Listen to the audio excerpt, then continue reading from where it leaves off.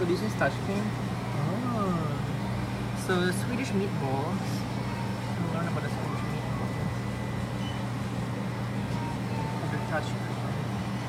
That was cool.